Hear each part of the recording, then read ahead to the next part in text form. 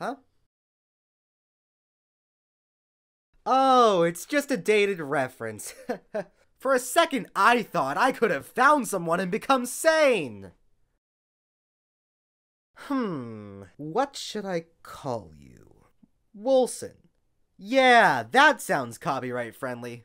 Well, Wilson, what sort of adventures should we go on today? Oh, oh, that's funny. Oh, that's really funny. oh man, am I lonely! So, you come here often?